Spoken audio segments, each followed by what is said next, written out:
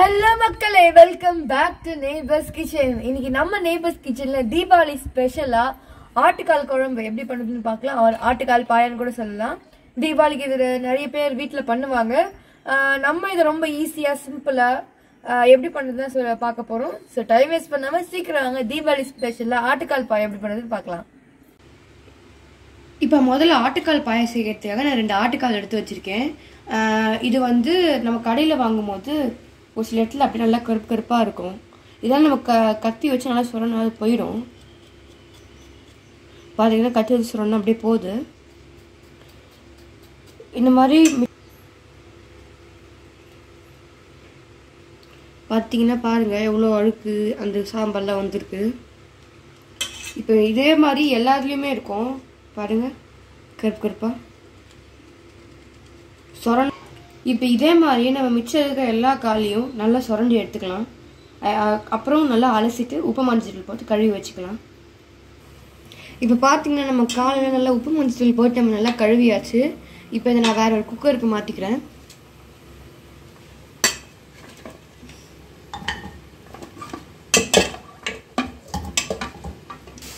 ஆட்டுக்கால் சேர்த்ததும் இதில் ஒரு வெங்காயம் அது கொஞ்சம் பெருசு பெருசாக வெட்டி வச்சுருக்கேன்.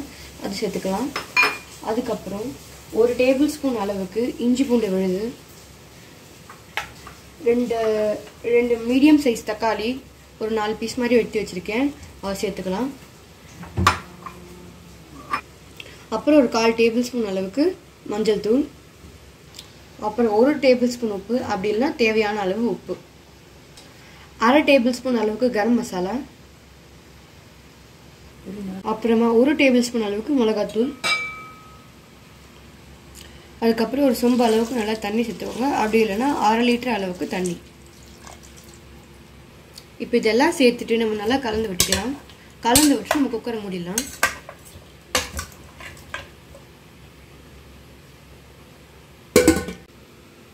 குக்கரை மூடிட்டு நம்ம ஒரு பதினஞ்சு விசில் வச்சுக்கலாம். ஏன்னா நான் ஒரு சிலர் வந்து நைட்டு மட்டும் வேக போட்டுட்டு காலையில் குழம்பு பண்ணுவாங்க. நாங்கள் காலையிலேயே வாங்கி காலையிலேயே குழம்பு பண்ணுறதுனால பதினஞ்சு விசில் வைக்கிறோம் ஸோ இப்போ பதினஞ்சு விசில் விட்டுக்கலாம்.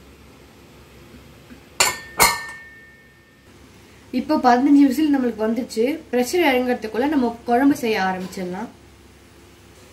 அதுக்கு ஒரு கடாய் சூடானதும் ஒரு டேபிள் ஸ்பூன் அளவுக்கு நம்ம எண்ணெய் சேர்த்துக்கலாம். எண்ணெய் சூடாகட்டும். எண்ணெய் சூடானதும் இதில் ஒரு கால் டேபிள் ஸ்பூன் அளவுக்கு சோம்பு ரொம்ப குட்டி குட்டி துண்டு பட்டை அப்புறம் ரெண்டு கிராம்பு. சேர்த்துக்கலாம்.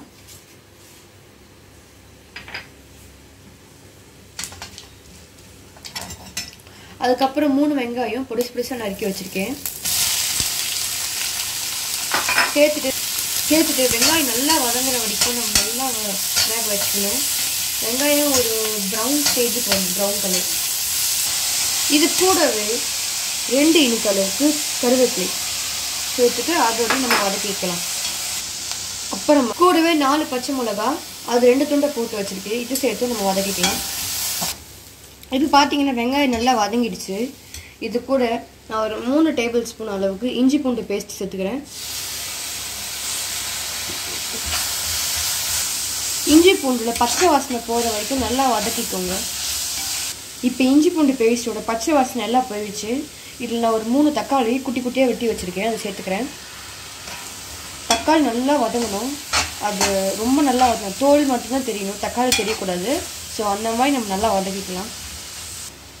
இது கூடவே ஒரு கால் ஸ்பூன் அளவுக்கு நம்ம உப்பு சேர்த்துக்கலாம். அப்போ தான் தக்காளி நல்லா வேகும். ஐ மீன் சீக்கிரம் வதங்கும். இப்போ தக்காளியெல்லாம் நல்லா வதங்கிடுச்சு. இது கூட நான் ரெண்டு டேபிள் ஸ்பூன் அளவுக்கு மிளகாத்தூள் சேர்த்துக்கிறேன். அப்புறமா ஒரு டேபிள் ஸ்பூன் அளவுக்கு கரம் மசாலா சேர்த்து நம்ம நல்லா மிக்ஸ் பண்ணிக்கலாம். இதுக்கப்புறம் இதில் நான் ஒரு முக்கால் லிட்டர் அளவுக்கு தண்ணி சேர்த்துக்கிறேன். கால் குழம்பு எப்பவுமே தண்ணியாக தான் இருக்கும். அதனால எவ்வளோ தண்ணி சேர்த்தாலும் ப்ராப்ளம் இல்லை. இப்போ பார்த்தீங்கன்னா நம்ம குக்கரில் வச்சு ஆட்டுக்கால் ஃபுல்லாக வெ வெந்து ப்ரெஷர்லாம் இறங்கிடுச்சு. இப்போ நான் உங்களுக்கு திறந்து காட்டுறேன். பார்த்தீங்கன்னா எல்லாம் ரொம்ப சூப்பராக வெந்திருக்கு. ஸோ இப்போ இதோட நம்ம ஏற்கனவே வேக வச்ச அந்த வெங்காயம் தக்காளி எடுத்து இதில் மே மாற்றிக்கலாம்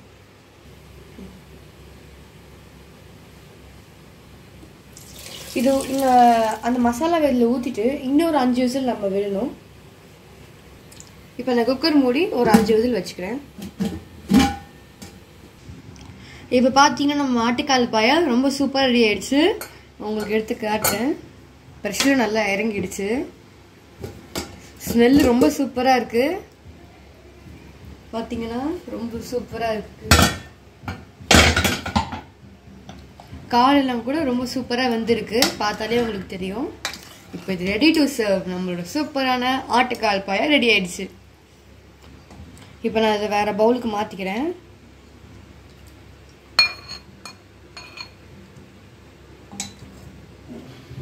இது மேலே மேலே கொஞ்சம் கொத்தமல்லி தூவி நம்ம சர்வ் பண்ணிடலாம்.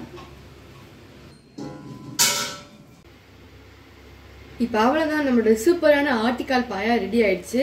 நாங்கள் எப்பவுமே இந்த ஆட்டுக்கால் பாயாவை பூரியோட தான் சாப்பிடுவோம். ஆனால் இது இட்லி இடியாப்பம் தோசை எல்லாத்தோட ரொம்ப சூப்பராக இருக்கும் எல்லாத்தோட ரொம்ப சூப்பராக இருக்கும். மறக்காம நீங்களும் இதை ட்ரை பண்ணுங்க. இப்போ அவ்வளோதான் ரொம்ப ஈஸியாக சிம்பிளாக ஆட்டுக்கால் பாயா எப்படி பண்ணுதுன்னு பார்த்தோம். இந்த ரெசிபி உங்களுக்கு ரொம்ப பிடிச்சிக்கும் நம்புறேன். மறக்காம இந்த தீபாவளிக்கு உங்கள் வீட்லேயும் இந்த ஆட்டுக்கால் பாயை ட்ரை பண்ணி பாருங்க. ரொம்ப சூப்பராக இருக்கும். அதுக்கு நான் கேரண்டி மறக்காமல் என்ஒய் நேபர்ஸ் சேனலுக்கு லைக் பண்ணுங்கள் ஷேர் பண்ணுங்கள் சப்ஸ்கிரைப் பண்ணுங்கள் மறக்காமல் ஆட்டுக்கால் பாய் உங்கள் வீட்டில் ட்ரை பண்ணிவிட்டு கீழே கமெண்ட் பண்ணுங்கள் நன்றி வணக்கம்.